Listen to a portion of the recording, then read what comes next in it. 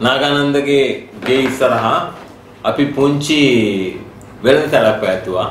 අර තනමල්ලිල ගොවීන් ඔවුන්ට හැකි ශක්ති ප්‍රමාණයෙන් ඔවුන්ගේ වගාවෙන් ඔවුන්ගේ අශ්වයන් ඔවුන් ආධාර කළා.